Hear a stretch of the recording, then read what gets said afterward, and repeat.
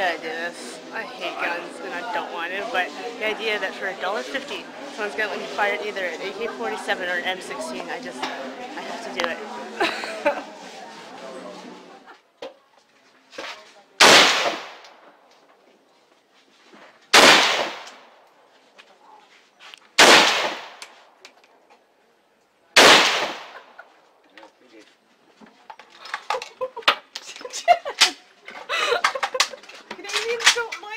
guns. we don't like guns.